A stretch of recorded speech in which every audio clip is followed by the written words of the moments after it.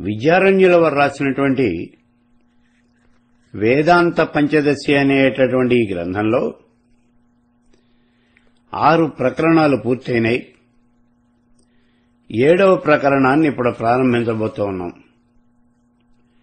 దీని పేరే తృప్తిదీప ప్రకరణము. తృప్తిదీప ప్రకరణము. ఇది దీని పేరు. ఇందులో మొత్తం రెండు వందల తొంభై ఎనిమిది శ్లోకాలున్నాయి. అసలు ఈ ప్రకరణంలో ఏం చెప్పబోతూ ఉన్నారు విద్యారణ్యుల వారు ఇక్కడ చూడండి. మొట్టమొదటిగా ఈ బృహదారణ్యక ఉపనిషత్తులో ఉన్నటువంటి ఒక శృతి దాన్ని చెప్తూ ఉన్నారు ఇక్కడ. ఏమిటి అంటే బృహదారణ్యక ఉపనిషత్తులో ఒక మాట చెప్పాడు. నేనే నిత్య శుద్ధ బుద్ధ ముక్త స్వరూపమైనటువంటి ఆ పరబ్రహ్మని అనేటటువంటి విషయం తెలుసుకున్నటువంటి వాడు ఇంకా కోరేది ఏముంది? ఏ భోగాలు అనుభవించాలి అని చెప్పి ఈ శరీరం వెంటబడాలి. ఇది అక్కడ చెప్పినటువంటి ఆ విషయం. అంటే బృహదారణ్యకోపనిషత్తులో చెప్పాడు ఈ మాటని. నేనే నిత్య శుద్ధ బుద్ధ ముక్త స్వరూపుడైనటువంటి ఆ పరబ్రహ్మని అని తెలుసుకున్నటువంటి వాడు ఇంకా కోరేదేముంది ఏ భోగాల కోసం ఈ శరీరం వెంటబడి సంతృప్తులవుతాడు ఈ మాటని చెప్తాడు ఇక్కడ ఈ ఉపనిషత్తులో. దీనికి అర్థం ఏమిటి అంటే నేనే పరబ్రహ్మ స్వరూపాన్ని స్వరూపాన్ని అని తెలుసుకున్నటువంటి వాడు ఈ లోకంలో ఇంకా కోరేది ఏది ఉండదు. అతడు పూర్ణకాముడు నిష్కాముడు. ఈ రకంగా ఆత్మబోధ కలిగినటువంటి వాడికి జన్మ మృత్యు జరాదులు అనేటటువంటివి ఏవి కూడా ఉండవు. ఇవేవి కూడా అతన్ని బాధించవు. ఇది ఇక్కడ చెప్పినటువంటి విషయం. ఈ ప్రకరణంలో పూర్తిగా ఈ విషయాన్నే వ్యాఖ్యానిస్తూ ఉన్నారు ఈ విద్యారణ్యుల వారు. ఇక్కడ అంటూ ఉన్నారు. ఈ ప్రకరణంలో ఆత్మానం విజానీయాత్ అనేటటువంటి శృతిని బాగా విపులంగా వ్యాఖ్యానించడానికి ఉపక్రమిస్తూ ఉన్నారు. ఎందుకోసము అనంటే ఈ విధమైనటువంటి విచారణ చేయటం వల్ల జీవన్ముక్తుడికి ఆ వేదాల్లో చెప్పబడినటువంటి నిరతిశయానంద రూపమైనటువంటి తృప్తి అనేది ఏమిటో స్పష్టంగా తెలుస్తుంది. అందుకే ఈ విషయాన్ని ఇక్కడ వ్యాఖ్యానిస్తూ ఉన్నారు అని చెప్తూ ఉన్నారు. అయితే ఇక్కడ వ్యాఖ్యానము అనేటటువంటి మాటకి ప్రత్యేకంగా అర్థం అనేది ఉంది. వ్యాఖ్యానము అంటే ఏదో మామూలుగా మనం చెప్పుకున్నట్టుగా దానికి వివరణ ఇవ్వటం కాదు. వ్యాఖ్యానము అంటే దీనికి ప్రత్యేకమైనటువంటి నిర్వచనము అనేది ఉంది. పదచ్ఛేదం పదార్థోక్తి విగ్రహం వాక్యయోజన ఆక్షేపానికి సమాధానం ఇవి మొత్తం ఐదు లక్షణాలు. ఈ ఐదు లక్షణాలు ఉండేటటువంటి దాన్ని మాత్రమే ఇక్కడ వ్యాఖ్యానము అని అంటారు. అయితే ఇప్పుడు చెప్పినటువంటి ఈ శృతివాక్యంలో ప్రయోగించబడినటువంటి పురుషుడు అనేటటువంటి పదం యొక్క అర్థాన్ని చెప్పడానికి ముందు దానికి ఉపోద్ఘాతంగా సృష్టి అనేది ఎలా జరిగింది ఈ విషయాన్ని గురించి మనకి సంక్షిప్తంగా చెప్పబోతూ ఉన్నారు. సృష్టి ఎలా జరిగింది? ఇదంతా ఎందుకు అంటే పురుషుడు అనేటటువంటి పదానికి అర్థం చెప్పడానికి అనమాట మాయా అనేటటువంటిది చిదాభాస ద్వారా జీవేశ్వరుల యొక్క నిర్మాణము అనేది చేస్తూ ఉన్నది. ఈ విషయం వేదం చెబుతోంది. నృసింహ ఉత్తర తాపిని ఉపనిషత్తులో జీవుడు ఈశ్వరుడు ఇద్దరు కూడా కల్పించబడినటువంటి వాళ్ళే. ఆ ఇద్దరి చేతనే ఈ సంసారం అంతా కూడా కల్పించబడింది అనే విషయం చెప్పబడింది. అయితే ఈ చరాచర జగత్తు సృష్టించబడటానికి అసలు జీవుడు ఈశ్వరుడు వీళ్ళిద్దరిలో ఎవరెవరు ఎంతంత వరకు కారణము ఈ విషయం మాత్రం మనకి తెలియాల ముందు. ఇక్కడ వీళ్ళు ఏం చెప్పారు అంటే వీళ్ళు ఇద్దరూ కూడా అసలు కల్పించబడినటువంటి వాళ్ళే జీవుడు అంతే ఈశ్వరుడు అంతే. వీళ్ళిద్దరూ కలిసి ఈ సృష్టి చేశారు. ఈ సృష్టిలో ఎవరి భాగం ఎంత? ఇక్కడ చాలా జాగ్రత్తగా చూడండి. ఈ క్షణం మొదలుకొని ప్రవేశించే ప్రవేశం జరిగేటటువంటి సృష్టి అంతా కూడా ఈశ్వర రచన.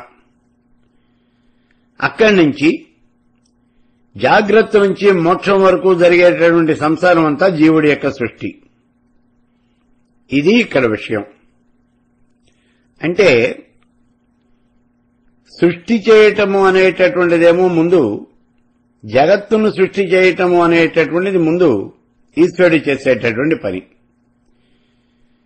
జగత్తును సృష్టి అంటే ఏం చేశాడైనా. అలా ఏకంగా ఉన్నటువంటి ఆ పరమాత్మ తాను అనేకం కావాలి అని ఆలోచించాడు. చాందోగ్యోపనిషత్తులో చెప్పాడు.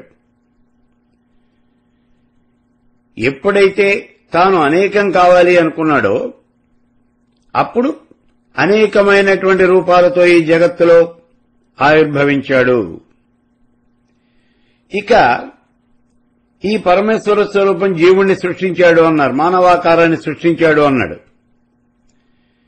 మానవాకారాన్ని సృష్టించిన తర్వాత జీవాత్మలో ప్రవేశించి నామరూపాలన్నీ కూడా వ్యక్తం చేశాడు అని చెప్పాడు. ఇంతవరకు ఈ జరిగినటువంటి సృష్టి అంతా కూడా ఈశ్వరుడే నిర్మించాడు. ఐత్రేయోపనిషత్తులో కూడా చెప్పాడు చూడండి ఈ చరాచర జగత్తంతా కూడా పరమేశ్వరుడే నిర్మించాడు.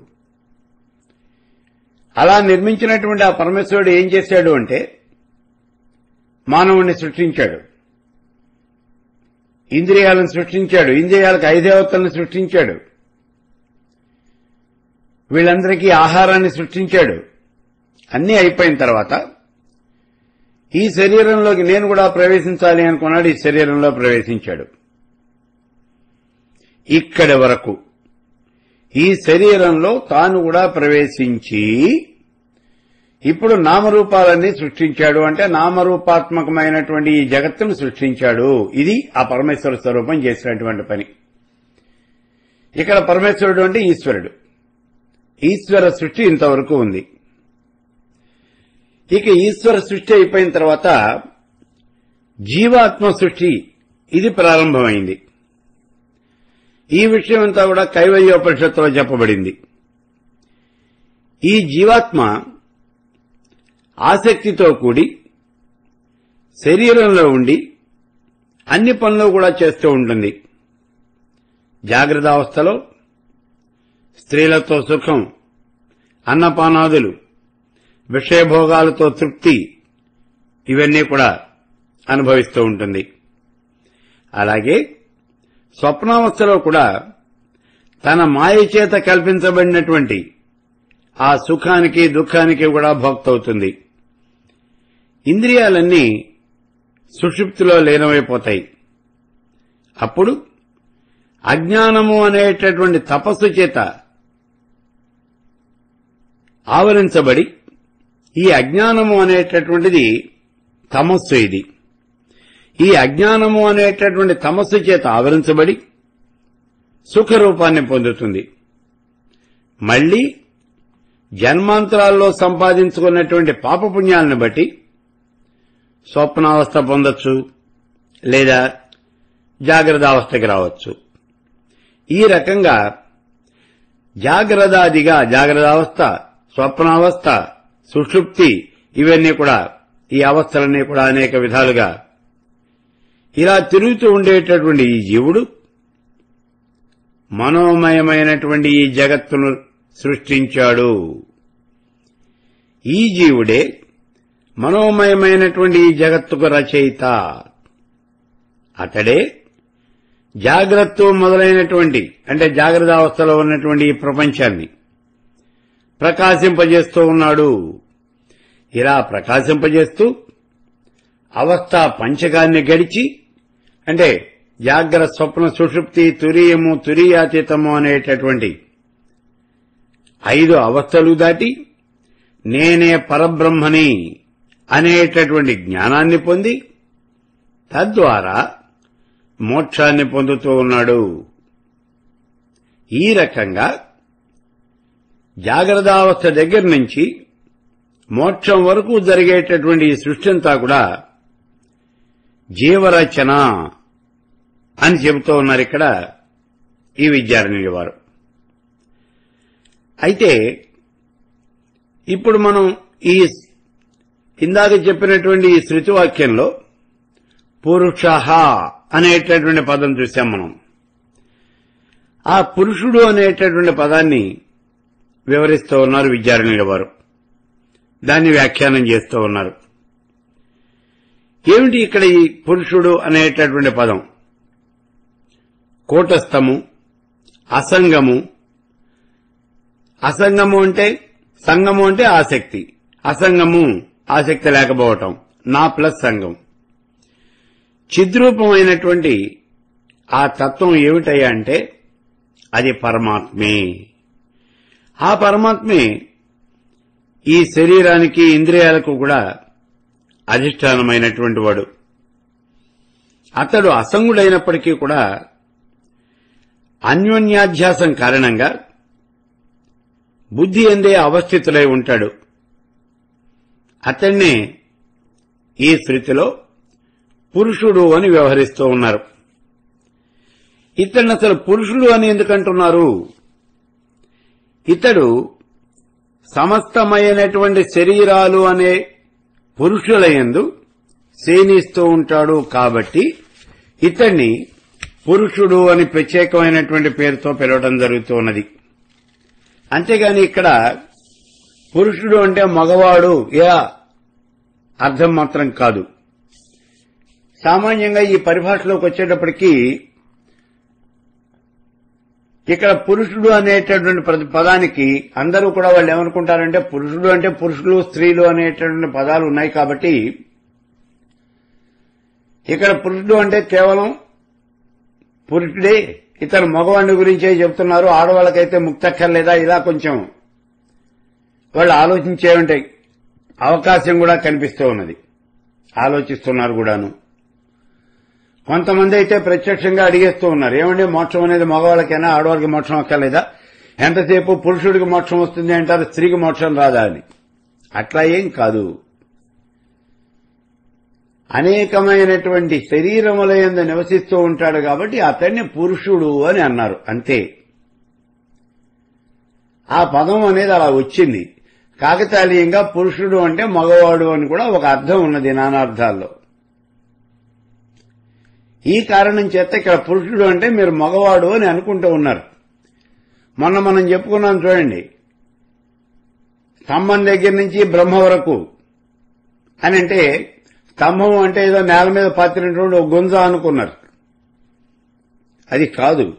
అక్కడ స్తంభము అంటే ఒక రకమైనటువంటి చిన్న కీటకం. చీమలాంటి ఒక కీటకం. అందుకే దానికి పిపీలి కాది బ్రహ్మపర్యంతము అని కనుక చెప్పినట్లయితే ఈ ఇబ్బంది ఉండదు అని చెప్పాను అక్కడ. అలాగే ఇక్కడ కూడాను. అయితే పురుష అనేటటువంటి శబ్దానికి ఇక్కడ చూడండి ఆయన అర్థం చెప్తూ ఉన్నారు చూడండి. పురుష అనేటటువంటి శబ్దానికి చిదాభాస రూపుడైనటువంటి జీవుడు అని అర్థం చెప్పకుండా అధిష్టాన రూపంలో ఇక్కడ కూటస్థము అని చెబుతూ ఉన్నారు. కానీ ఇక్కడ పురుషుడు అంటే నిజంగా అర్థం ఏమిటి అంటే చిదాభాస రూపుడైనటువంటి జీవుడు అని అర్థం. మరి ఇలా కూటస్థుడని ఎందుకు చెబుతూ ఉన్నారు? అంటే అధిష్టానంతో కూడినటువంటి ఈ కూటస్థ చైతన్యంతో. అధిష్టానం అంటే ఇక్కడ కూటస్థ చైతన్యం. దాంతో కూడినటువంటి ఈ చిదాభాసమైనటువంటి జీవుడే మోక్షానికి అవసరమైనటువంటి సాధనాలన్నీ కూడా అనుష్ఠించడానికి అధికారి అవుతూ ఉన్నాడు. కేవలం చిదాభాసం అనేటటువంటిది దీనికి అధికారి కాదు. ఎందుకు కాదు అంటే అధిష్టానము అనేది ఉంటేనే తప్ప భ్రాంతి అనేది ఉండదు. ఈ కారణం చేత ఇది ఈ చిదాభాసం అనేది దీనికి అధికారి కాదు.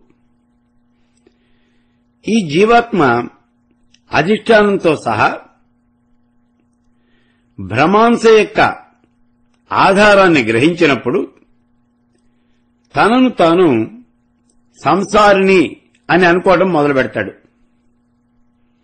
ఆ స్థితిలో అతడు ఈ చిదాభాసతో కూడినటువంటి ఈ దేహము మొదలైనటువంటి వాటినన్నింటినీ కూడా స్వస్వరూపంగా అంటే అతడి యొక్క స్వరూపంగా భావన చేస్తాడు. ఈ దేహము ఈ ఇంద్రియాలు ఇవే నేను అని అనుకుంటాడు. ఎప్పుడైతే అలా అని అనుకున్నాడో ఆ విధంగా తానే సంసారిణి అనేటటువంటి భావాన్ని కూడా అతడు పొందటం అనేది జరుగుతుంది.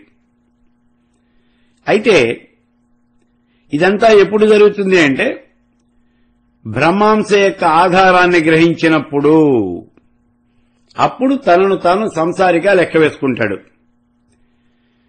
మరి ఈ భ్రమాంశ అనేది తిరస్కరించి దాన్ని గనక చేయించినట్లయితే అధిష్టానమైనటువంటి కూటస్థ చైతన్యాన్ని గ్రహించినప్పుడు నాకు ఏ రకమైనటువంటి వికారాలు లేవు. నేను నిర్వికారాన్ని చిద్రూపుణ్ణి అనేటటువంటి జ్ఞానాన్ని పొందుతూ ఉంటాడు. అంటే ఈ జీవుడు స్థూల సూక్ష్మ దేహాలతో కూడినటువంటి ఈ చిదాభాసని మిథ్య అని తెలుసుకొని ఆ మిథ్యాజ్ఞానాన్ని అనాదరం చేసినప్పుడు ఆత్మస్థితిని పొంది అసంగుడైనటువంటి ఆ చిదాత్మ అనేది తానేను అనేటటువంటి విషయం గ్రహిస్తాడు. అయితే అసంగమైనటువంటి ఆ చిదాత్మలో అహం ఈ ప్రత్యయం ఉంది. ఇది అహం అంటే నేను అనేటటువంటి జ్ఞానం. మరి ఇక్కడ ఈ చిదాత్మలో నేను అనేటటువంటి ఈ జ్ఞానము అనేది కుదురుతుందా? ఇది ఇక్కడ మనకు వచ్చే అనుమానం. ఇది కుదరదు కదా మరి? అంటే అటువంటప్పుడు నేనున్నాను అనేటటువంటి జ్ఞానం ఎలా కలుగుతుంది? దీనికి సమాధానం ఏమిటయ్యా అంటే అహము అనేటటువంటి ఈ ప్రత్యయానికి ఒక ముఖ్యార్థము రెండు గౌణార్థాలు ఉన్నాయి ఇక్కడ. అంటే మొత్తం మూడు రకాలైనటువంటి అర్థాలు ఉన్నాయి ఈ అహం అనేటటువంటి ప్రత్యయానికి నేను అనేటటువంటిదేమో ముఖ్యార్థం అవుతుంది పామరులంతా కూడా ఈ విధమైనటువంటి ముఖ్యమైనటువంటి అర్థాల్లోనే ఈ అహం అనేటటువంటి పదాన్ని వాడుతూ ఉంటారు. ఇకపోతే దీనికి రెండు గౌణార్థాలున్నాయి. ఒకటి చిదాభాస రెండోది కూటస్థుడు. తత్వజ్ఞానులైనటువంటి వాళ్ళు ఈ రెండు అర్థాల్లోనూ కూడా ఈ అహం అనేటటువంటి ఈ పదాన్ని వాళ్ళు వాడుతూనే ఉంటారు. అయితే అది ఎలా వాడతారు అంటే అవసరాన్ని బట్టి ఆ పదానికి అర్థాన్ని వాళ్ళు చెప్పుకుంటూ ఉంటారు. ఇప్పుడు విద్వాంసులు నేను పెడుతున్నాను నేను తిడుతున్నాను ఇలాంటి లౌకికమైనటువంటి ప్రయోగాలు చేస్తూ ఉంటారు. అలాంటి ప్రయోగాల్లో కూటస్థుడి నుండి ఈ చిదాభాసాన్ని వేరు చేసి ఆ చిదాభాసను వ్యక్తం చేయటం కోసమే అహం అనేటటువంటి శబ్దాన్ని వాడతారు. ఈ అహం అనేటటువంటి శబ్దానికి లౌకికార్థం ఏమిటి అంటే చిదాభాస.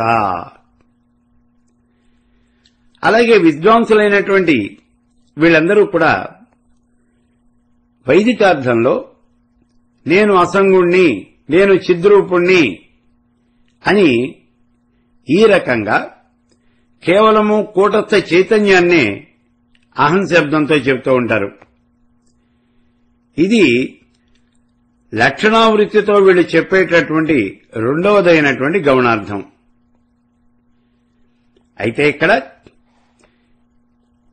ఈ చిదాభాసానికి అంటే ఈ జీవుడికి తాను కూటస్థుణ్ణి అనేటటువంటి జ్ఞానం అనేది ఎలా కలుగుతుంది అనేటటువంటి విషయాన్ని వివరిస్తూ ఉన్నారు ఇప్పుడు పద్నాలుగవ శ్లోకంలో. జ్ఞానిత్వం అజ్ఞానిత్వం. ఈ రెండు కూడా ఆత్మాభాసకే ఉంటాయి తప్పించి చిదాభాసకి ఎప్పుడూ కూడా ఉండవు. అటువంటప్పుడు నేను కూటస్థుణ్ణి అని ఈ చిదాభాష ఎలా తెలుసుకోగలుగుతుంది? అయితే ఈ విషయం మనం ఈ సిద్ధాంతం తెలిసినటువంటి వాళ్ళని అడగడమే బాగుంటుంది. ఎందుకని అంటే ఆత్మజ్ఞాన నివారణాన్ని. అంటే ఇక్కడ ఆత్మజ్ఞానాన్ని గురించినటువంటి శంకలు నివారించుకోవటానికి మనం ఈ రకంగా వాళ్ళని అడగాలి. కాబట్టి మనం ఒక సిద్ధాంతిని అడిగితే అంటే శాస్త్రకారుని ఎవడైనా అడిగితే ఈ సమిష్టంగా ఉంటుంది అని అంటూ ఉన్నాడు ఇక్కడ. అని ఇప్పుడు ఆ శాస్త్రకారుడు చెప్పే సమాధానం ఏమిటో ఆయన చెప్తూ ఉన్నాడు. ఏమిటి అంటే అసలు ఇక్కడ మీకు వచ్చినటువంటి ఈ సంఖ్య అనవసరం అయ్యా మీకు అనుమానమే అనవసరం అసలు. చిదాభాసము కూటస్థము అనేటటువంటి ఈ రెండు భిన్న మనస్త భిన్నమైనటువంటి తత్వాలు కావు ఇవి చిదాభాసము కూటస్థుడు ఈ రెండు కూడా భిన్నమైనటువంటి తత్వాలు కావు. పైగా చిదాభాసము అనేటటువంటిది కూటస్థ స్వరూపమే. అయితే ఈ అభాసత్వం అనేది ఉన్నదే అదే మిథ్య. కాబట్టి ఆ మిథ్య గనక పోయినట్లయితే ఇంకా మిగిలేది ఏమిటి అంటే కూటస్థమే. ఇప్పుడు అద్దంలో మనకి ముఖాభాసము అనేది కనిపిస్తూ ఉన్నది ఇక్కడ. అద్దంలో కనిపించేటువంటి ఈ ముఖాభాసము అనేటటువంటిది మన మొండెం మీద ఉన్నటువంటి ముఖమే తప్పించి ఇంకేం కాదు. అద్దంలో కనిపించేటువంటిది ఏమిటంటే మన మెడ మీద ఉన్నటువంటి తల అంత తప్పించి ఇంకేం కనపట్టాల. అలాగే ఇక్కడ కూడా మనం గ్రహించాలి.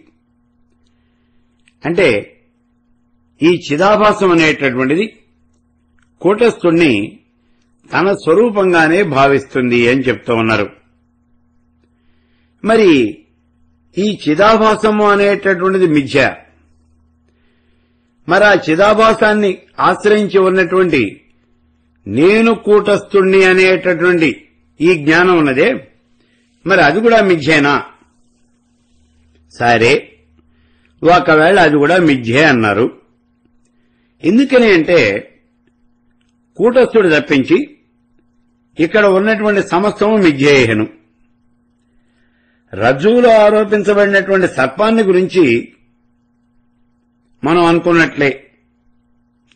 ఇది కూడా అంతా మిథ్యేహను. అంటే ఇక్కడ సర్పము మిథ్యే సర్పజ్ఞానము మిథ్యే. అక్కడ ఉన్నది రజ్జు ఒక్కటే. మరి మిథ్యాజ్ఞానం వల్ల కూడా సంసార నివృత్తి అనేది జరుగుతుంది. ఎందుకని అంటే సంసారం కూడా మిథ్యేగా జ్ఞానం మిథ్యన్నావు ఈ మిథ్యాజ్ఞానం వల్ల సంసారం నివృత్తి జరుగుతుందంటే జరుగుతుంది అన్నాం ఎందుకనంటే సంసారం కూడా మిథ్యే.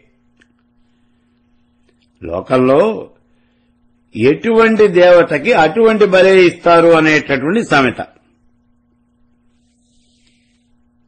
ఎటువంటి దేవతకి అటువంటి బలే ఇస్తారు? అంటే మనం మామూలుగా చెప్తూ ఉంటాం చూడండి. అంటే కొన్ని కొన్ని పదాలు మనం వెంటనే చెప్పేయటానికంత కొన్ని మనకి పరిమితులు అనేవి ఉంటాయి. మామూలుగా అయితే చెప్తూ ఉంటాడు చంబార్కో దేవుకో చెప్పల్కా పూజ అని. అలాగే ఇక్కడ ఎటువంటి దేవతకి అటువంటి బలే ఇస్తారు. ఆ దేవతను బట్టే ఇక్కడ కుక్క కాటుకి చెప్పదెబ్బ అంటారు కదా అది అలాంటిదన్నమాట ఇక్కడ. ఇది మనకున్నటువంటి సామెత. అట్లాగే మిథ్య అయినటువంటి సంసారం ఆ మిథ్యాజ్ఞానంతోనే ఇప్పుడు నివృత్తి కావాలి. అయితే ఇప్పుడు కూటస్థుడై చిదాభాస స్వరూపుడు అంటే జీవస్వరూపుడు. ఎందుకని అంటే పురుష శబ్దానికి కూటస్థ సహితుడైనటువంటి చిదాభాసము అని అర్థం చెప్పాం మనం. ఆ చిదాభాసమే కూటస్థుణ్ణి తనకన్నా కూడా భిన్నంగా ఉన్నట్లుగా భావిస్తూ లక్షణావృత్తి ద్వారా నేను కూటస్థుణ్ణి అనేటటువంటి జ్ఞానం పొందుతూ ఉన్నది. ఇక ఈ కారణం చేతనే ఈ శృతిలో అస్మి అనేటటువంటి పదాన్ని కూడా వాడుతూ ఉన్నారు. సామాన్య మానవుల్లో దేహమే ఆత్మ అనేటటువంటి విషయంలో సంశయము అనేటటువంటిది ఏమాత్రము లేనటువంటి నిశ్చయమైనటువంటి జ్ఞానము అనేది కనిపిస్తూ ఉన్నది. ఎందుకనంటే సామాన్యమైనటువంటి మానవుడు ఎప్పుడూ కూడా అజ్ఞాని. అజ్ఞానంలో ఉండేటటువంటిది ఏమిటయ్యా అంటే దేహమే ఆత్మ. ఈ విషయమే అజ్ఞానికి తెలుసు. ఇది నిశ్చయమైనటువంటిది. అతనికి ఉన్నటువంటి ఈ జ్ఞానం అనేది ఇదే.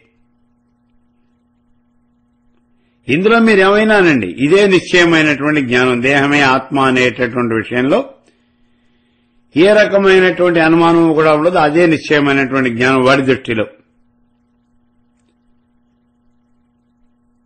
సరిగ్గా అట్లాగే మోక్షాన్ని గనక పొందాలి అన్నట్లయితే ప్రత్యేక భిన్నమైనటువంటి ఆత్మ ఎందు కూడా ఏ రకమైనటువంటి అనుమానము లేనటువంటి దృఢమైనటువంటి జ్ఞానాన్ని పొందాలి. నేనే పరమేశ్వర స్వరూపాన్ని అనేటటువంటి దృఢమైనటువంటి జ్ఞానము అనేది కావాలి. అది ఎలా ఉండాలి అంటే మనకి ఇక్కడ ఈ దేహమే ఆత్మ అనేటటువంటి విషయం ఎంత గట్టిగా ఇక్కడ నమ్మకంగా ఉన్నదో అంత గట్టిగాను కూడా నేనే పరమేశ్వర స్వరూపాన్ని అనేటటువంటి ఈ నిశ్చయమైనటువంటి జ్ఞానము అనేది కలిగి ఉండాలి.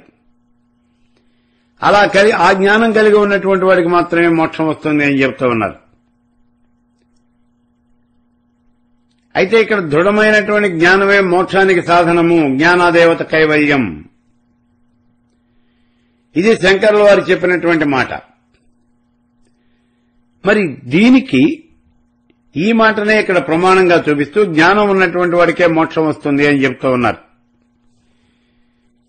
ఈ దేహాన్నే నేను అనేటటువంటి ఈ దృఢమైనటువంటి జ్ఞానం అనేది ఉన్నది. ఎవరికి? అది అజ్ఞానంలోకి ఉంది.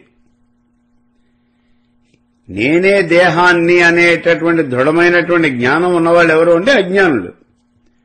నిజంగా చెప్పాలంటే వాళ్ళకు ఉన్నది జ్ఞానం కాదు అది అజ్ఞానం. వాళ్ళకి ఆ రకమైనటువంటి జ్ఞానం కలుగుతుంది. అలాగే ఈ జీవాత్మనైనటువంటి నేనే పరబ్రహ్మ స్వరూపాన్ని అహం బ్రహ్మాస్మి నేనే పరబ్రహ్మ స్వరూపాన్ని అనేటటువంటి ఈ దృఢమైనటువంటి జ్ఞానం ఎవరికైతే కలిగిందో అటువంటి వాడు తాను కోరకపోయినా సరే ముక్తుడవుతాడు మోక్షాన్ని పొందుతాడు అని చెప్తూ ఉన్నారు ఇక్కడ. అలా అంటూ అయంఘట అంటే ఇది ఘటము. అయం పటహ. ఇది వస్త్రము. ఇలా చెప్పినప్పుడు అయం అనేటటువంటి శబ్దం అపరోక్షత్వాన్ని నిర్దేశిస్తూ ఉంటుంది. అలాగే అంటే అపరోక్షత్వం అంటే ప్రత్యక్షంగా చెప్తోంది అనమాట ఇక్కడ. ఇది ఘటము. ఇదిగో ఇక్కడ చూపిస్తున్నాడు ప్రత్యక్షంగా. ఇది పటము. అందుకే ఇక్కడ ఈ అయం అనేటటువంటి శబ్దం అనేది అపరోక్షత్వాన్ని పరోక్షంగా అంటే ప్రత్యక్షంగా చూపిస్తూ ఉంటుంది దాన్ని నిర్దేశిస్తూ ఉంటుంది. అలాగే ఈ శృతిలో కూడా వేదంలో కూడా అయం అనేటటువంటి పదం అపరోక్షత్వాన్ని అంటే ప్రత్యక్షాన్ని మాత్రమే నిర్దేశించాలి. ఎందుచేతను అంటే స్వయం ప్రకాశమైనటువంటి ఈ చైతన్యము అనేది ఎల్లప్పుడూ కూడా అపరోక్షంగానే ఉంటుంది.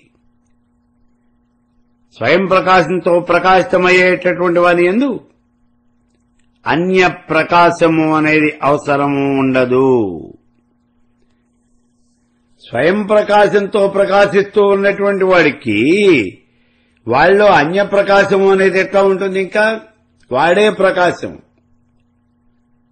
కాబట్టి వాడికి అన్య ప్రకాశము అనేది ఉండదు ఇంకా. అసలు అన్య ప్రకాశం యొక్క అవసరం కూడా ఉండదు.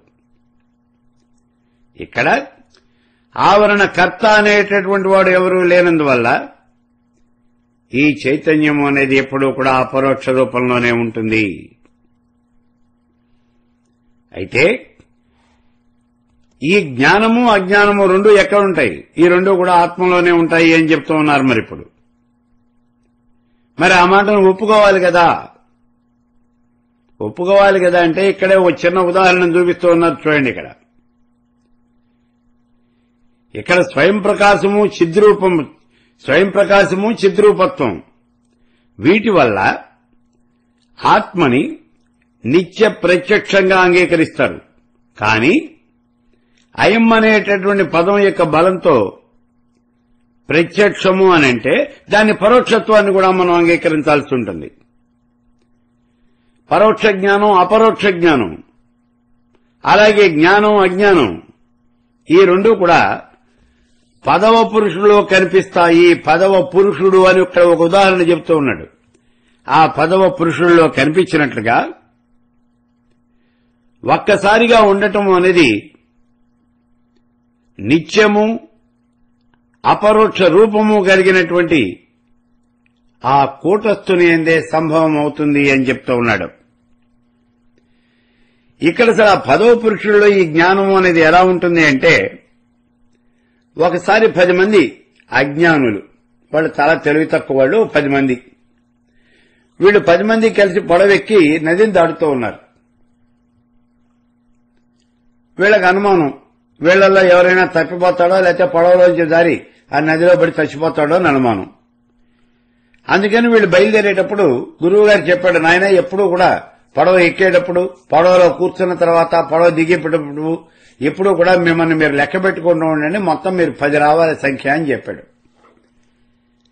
సరే పొడవ ఎక్కేటప్పుడు పది మందిని లెక్కబెట్టి ఆయనే దగ్గరుండి పది మంది లెక్కబెట్టి పొడవ ఎక్కించాడు నాయన పొడవ దిగంగానే మళ్ళీ మీరు పది మంది ఉన్నారో లేదో జాగ్రత్తగా చూసుకోండి రా అని చెప్పాడు. సరే ఈ పది మంది కూడా పొడవ ఎక్కారు. పొడవ నదిని దాటి అవతల ఒడ్డుకి వెళ్ళిపోయింది. అవతల ఒడ్డుకి వెళ్ళిపోయిన తర్వాత మరి గురువు గారు చెప్పారు మొత్తం మీరు లెక్కెట్టుకోండి రా పది మంది ఉండాలి అన్నారు. అందుకని అందరూ వరుసగా నుంచున్నారు ఓడొచ్చి లెక్క పెడుతూ ఉన్నాడు. ఎంతమంది ఉన్నారా అంటే ఒకటి రెండు మూడు నాలుగు ఐదు ఆరు ఏడు ఎనిమిది తొమ్మిది. ఎదురుకుండా తొమ్మిది మంది ఉన్నారు. పదోవాడు కనపడలా. మరి పదోవాడు ఏమైపోయాడు? వీడికి అనుమానం వచ్చింది పదోవాడు కనపట్టలేదు అన్నాడు. సరే నువ్వు లెక్క తప్పిపెట్టుంటావు అన్నాడు. వాడిని వరుసలో నుంచోమని ఆ వరుసలో ఉన్నటువంటి వాడు ఇంకోటి వచ్చి లెక్క పెట్టాడు. మళ్ళీ ఒకటి దగ్గర నుంచి తొమ్మిది దాకా నంబర్ వచ్చింది ఆగిపోయింది. పదో నంబర్ రాలేక. పదో వాడు ఎక్కడా కనిపించలా? ఇప్పుడు ఈ వరుసలో ఉన్నటువంటి శిష్యులంతా కూడా ఒకటి తర్వాత ఒకటి వచ్చి లెక్క పెడుతున్నారు. ఎవరు లెక్క పెట్టినప్పటికీ తొమ్మిది మందే వస్తున్నారు పదోవాడు రావట్లా. ఇప్పుడు వాడికి నిశ్చయం అయిపోయింది పదో వాడు చచ్చిపోయాడు. ఎలా? నదిని దాటుతూ ఉన్నప్పుడు పడవలో నదిని దాటుతూ ఉన్నప్పుడు ఆ పడవలో నుంచి నదిలో పడి నీళ్ళలో మునిగి చచ్చిపోయాడు పదోవాడు.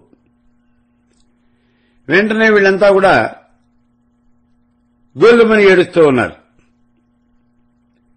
అప్పుడు ఆ పక్క నుంచే దారిన పోతూ ఉన్నటువంటి ఒక వ్యక్తి వ్యక్తి చూశాడు. ఏమిట్రా నాయన ఎందుకు ఏడుస్తున్నారు అని అడిగాడు.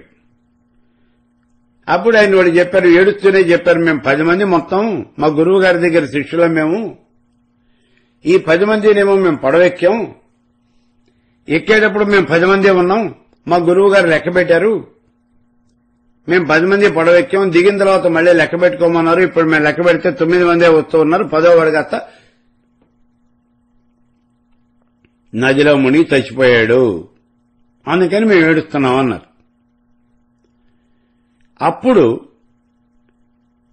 ఈ దావేపోయేటటువంటి ఈ బాటసారి వాళ్ళందరినీ కూడా నుంచోబెట్టే వరుసగా మీరు నుంచోండి అయ్యా నేను లెక్క పెడతాను. నేను చూస్తాను మీరు నుంచోండి అన్నాడు. సరే వీళ్ళు ఏడుస్తూనే వరుసగా నుంచున్నారు. ఇప్పుడు ఆయన అందరినీ కూడా ఒకటి రెండు మూడు నాలుగు ఐదు ఆరు ఏడు ఎనిమిది తొమ్మిది పది. పది మందిని లెక్క పెట్టాడు. ఏమయ్యా మరి మీరు పది మంది ఉన్నారు కదా అన్నాడు. లేదు మేము తొమ్మిది మంది ఉన్నాము అన్నారు. వాళ్ళకి అనుమానం. ఇప్పుడు వాళ్ళందరినీ నుంచోబెట్టి మళ్ళీ లెక్కబెట్టి వాళ్ళతోనే చూపించాడు. వాళ్ళతోనే మీరు ఒకటి రెండు మూడు అనండ్రా అన్నాడు మొత్తం అన్నారు పది అయింది. నంబర్ వచ్చింది. మరి ఇప్పుడు మీరు పది మంది ఉన్నారు కదా. ఈ విషయాన్ని వాళ్ళకి అర్థమయ్యేటట్టుగా చెప్పి అరే నాయనా ఇందాక మీరు లెక్క పెట్టినప్పుడు ఆ పదోవాడు ఎవరు అంటే నువ్వే పదోవాడివి. ఎవరైతే లెక్క పెట్టారో వాడే పదోవాడు. అందుకని మిమ్మల్ని మీరు లెక్క పెట్టుకోకుండా మిగిలిన తొమ్మిది మందినే మీరు లెక్క పెట్టి తొమ్మిది మందే ఉన్నారు. పదోవాడు చచ్చిపోయాడిని ఏడుస్తూ ఉన్నారు అన్నాడు ఆ పదోవాడు నువ్వేను అని చెప్పి వాళ్ళకి ఆ నమ్మకాన్ని కలిగించాడు. అప్పుడు ఆ పదోవాడు అవును నిజమే నేనో పదే నేనే పదోవాణ్ణి అని ప్రత్యక్షంగా అంటే అపరోక్ష రూపంలో తను తాను తెలుసుకొని దుఃఖం నుండి నివృత్తుడై ఇప్పుడు ఏడవటం మానేశాడు. సంతోషంగా ఉన్నాడు. ఇది అపరోక్ష జ్ఞానము అంటే అంటే ప్రత్యక్షమైనటువంటి జ్ఞానము. ఈ ప్రత్యక్షమైనటువంటి జ్ఞానం ఎలా ఉన్నది అంటే వాళ్ళకి ఆ పదోవాడు ఎలా అయితే తప్పిపోయాడు అని వాళ్ళు భావన చేస్తూ ఉన్నారో ఆ విషయాన్ని వాళ్ళకి చూపించి నైనా పదోవాడు ఎక్కడికి పోలేదు ఇక్కడే ఉన్నాడు. నువ్వే పదోవాడివి అని వాళ్ళకి చెప్పి ఈ విషయాన్ని వాళ్ళతో నమ్మింపజేశాడు ఈ బాటసారి. అంటే వాళ్ళకి అపరోక్షమైనటువంటి జ్ఞానాన్ని ఇచ్చాడంటే ప్రత్యక్షమైనటువంటి జ్ఞానాన్ని వాళ్ళకి కలగజేశాడు. దీన్ని అపరోక్ష జ్ఞానము లేదా ప్రత్యక్ష జ్ఞానము అని అంటారు.